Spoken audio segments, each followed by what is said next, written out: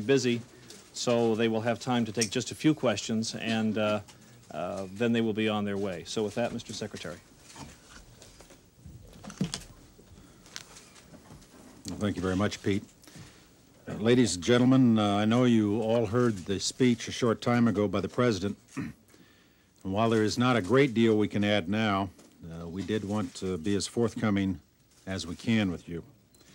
At 7 o'clock tonight, as you all know by now, uh, Eastern Time, 3 o'clock Thursday morning in the Gulf, the Armed Forces of the United States began an operation at the direction of the President to force Saddam Hussein to withdraw his troops from Kuwait and to end his occupation of that country.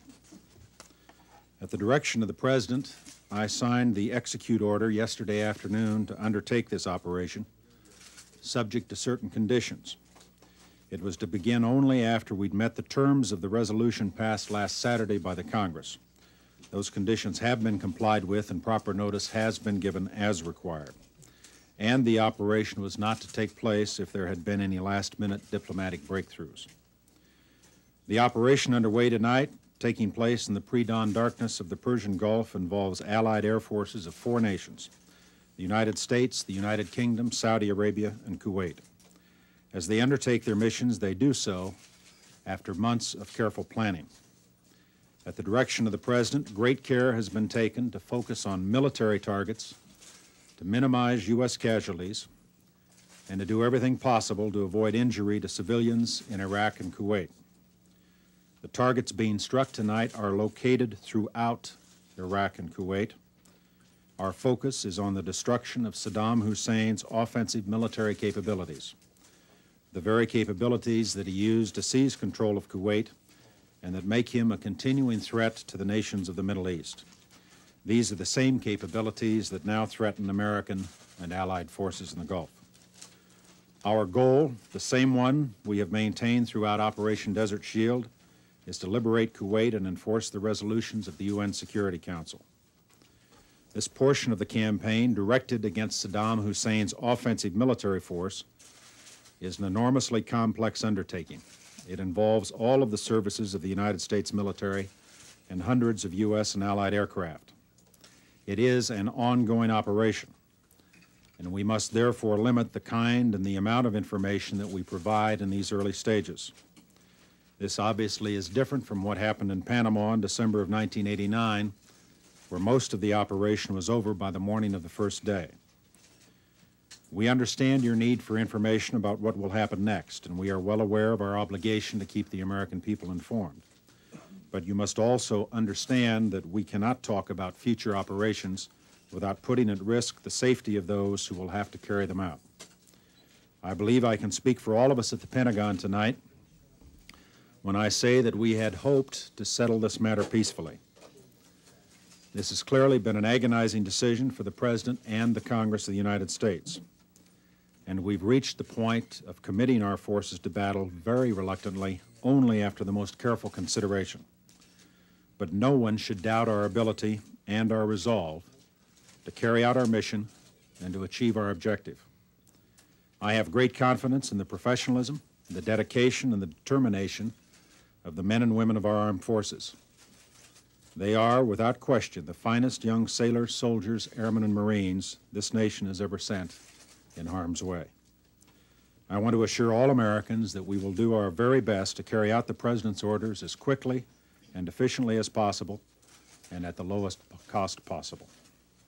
We'd be happy to respond to a few questions. General Powell, can you describe uh, the Iraqi Air Force's resistance, if any, their losses so far, and to what extent do you think that you've already achieved uh, air superiority there? Well, the operation's only uh, two and a half hours old, so I'm not quite prepared to take on your second question. So far, there has been no air resistance. Can you tell us if there's been any casualties so far? We uh, uh, will, at the appropriate time, be uh, releasing information on casualties. Uh, We're not prepared to release any specifics now. I will simply say that uh, the preliminary reports we have received uh, in terms of the success of the operation, and that includes uh, the possibility of casualties, has been very, very encouraging. The operation appears to have gone uh, very well. Has there been any What- Iraqi what can you tell response us of any about the kind? study?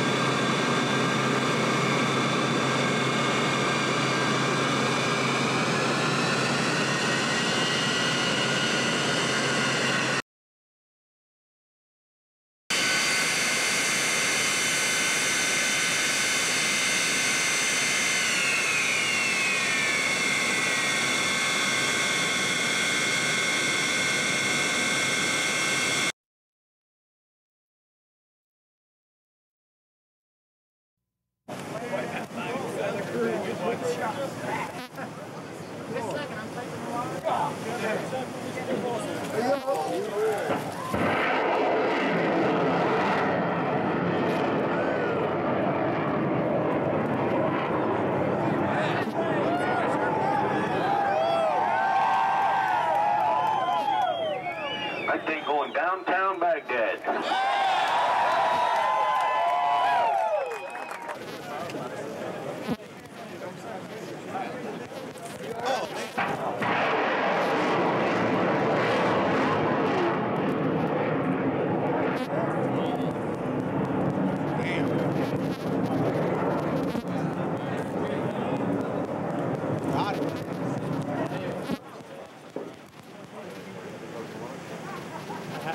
I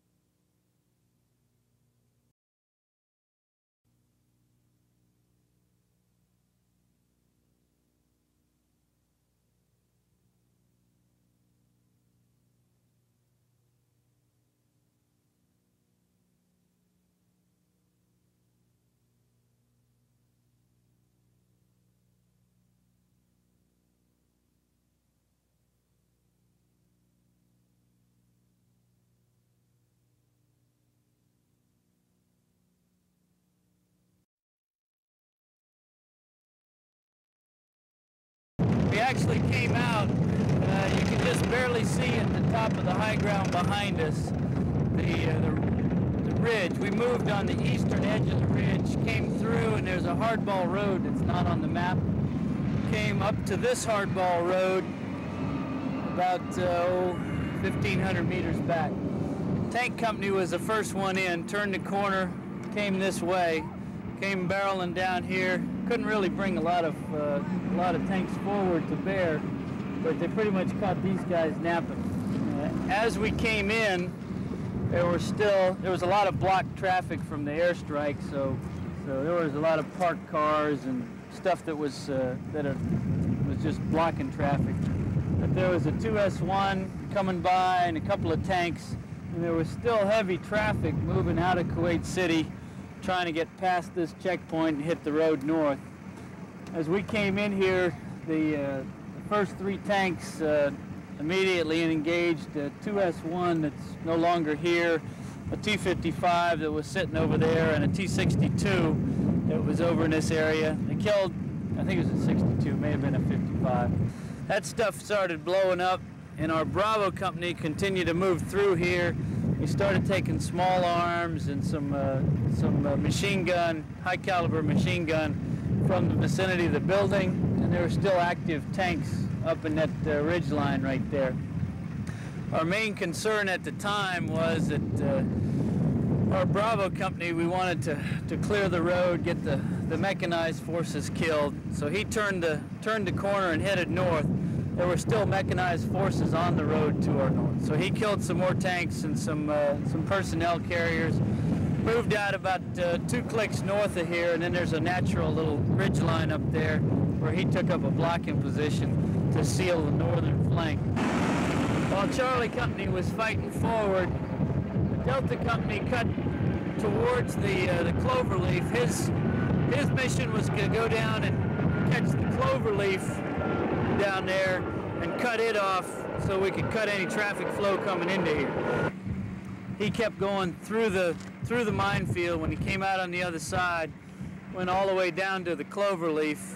As he was working his way down, he engaged uh, some tanks and some PCs worked his way down there to the cloverleaf, occupied the cloverleaf with a platoon on the on the northeast side, two platoons sitting there down by the mosque, so that he could cut this. He was essentially astride this road in a blocking position. One minefield that stretches from that military barracks over to almost almost to the sea, and that uh, that minefield only has one breach in it, and that breach is. Uh, is a uh, not a hardball road, but it's a uh, rough packed uh, hard road that's fairly recognizable. What we found was happening is that people from all over Kuwait City and every place in southern Kuwait that were abandoning their vehicles and beating feet to go north were getting up to here and they had to drive had to go around Kuwait City.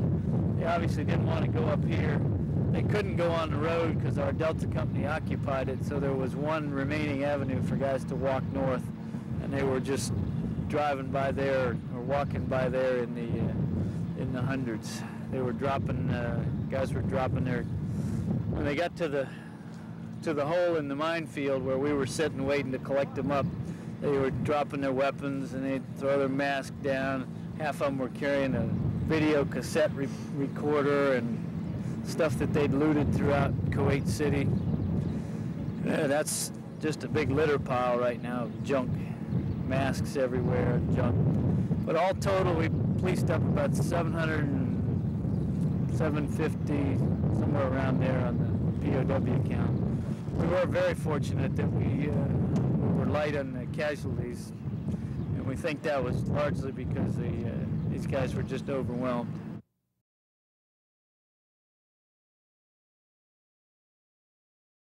The day before yesterday, uh, actually started uh, two days ago, early in the morning, scouts from a, uh, a, sister task force observed movement in this area.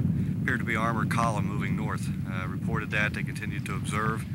Uh, two armored, or correction, two mechanized task force out of the 1st Brigade then observed, moved forward, and watched this column begin their move uh, through this area north towards the causeway and across the canal. They maintained observation. we continued to observe for quite some time in the process of observing, the Southern Task Force was observed by enemy forces. Uh, the enemy forces opened fire on the Southern Task Force, and that task force returned fire. At that time, the 1st Brigade then uh, delivered artillery to the north uh, of the enemy position, thus blocking the position, uh, causing them to stack up their vehicles along this road and the road to the east. Uh, immediately thereafter, attack helicopters, Apaches were called in, and then they began, and once the artillery was lifted, to engage the armored column uh, on the road which we're standing now. The tanks, the BMPs were engaged, creating utter chaos and confusion among the fleeing Iraqis. Pretty much uh, based upon the destruction uh, by the Hellfire, the 30 millimeter guns, and the rockets, the Iraqis left their vehicles and fled into the desert. Uh, just as the Apaches cleared station then, my task force was, was uh, moved from a reserve position. We came up from the south, crossed into this area, and then we attacked to clean up this area from south to north through both the major roads. The road to the east carrying much of the combat support, combat service support vehicles, a lot of wheels, some tracks, and then this road to clean up destroy any remaining operational vehicles. Uh, we moved forward to the causeway, destroyed uh, all the vehicles and all the trucks containing uh, ammunition. I might add that all the vehicles we found and trucks were packed uh, to the maximum load possible with ammunition. A lot of the ammunition crates I saw, it was written in English uh, and it was from Jordan. What we are doing is we're going through now, we are assuring that all weapons uh, and all ammunition are being destroyed. Uh, so we have engineer elements doing that uh, in addition to the soldiers in who are combing this area. We still, we are continuing to take EPWs. We're processing those daily uh, and we are ensuring that prior to leaving that uh, any items of uh, military uh, significance or anything that could be used later on are destroyed before we depart.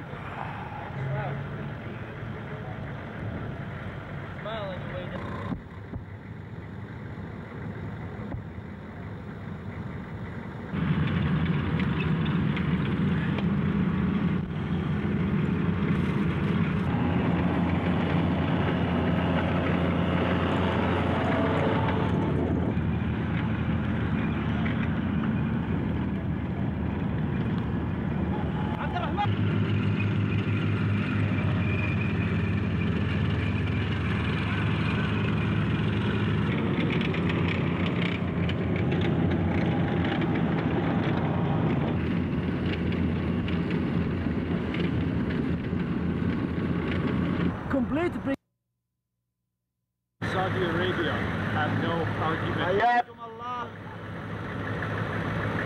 الذي جعل الإسلام الهروب عبارة العرب المسلمين هذا الطاغية وأنتم تعتبرون الجيش العراقي حياكم الله الآن. أعلى.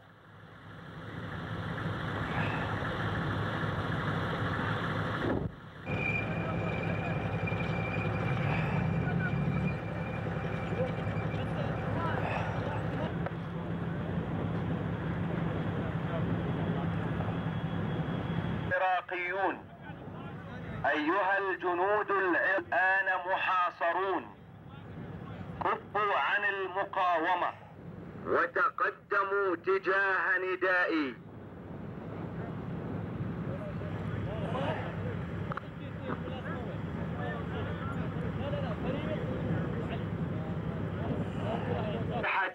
في الميدان. وتقدموا تجاه ندائي.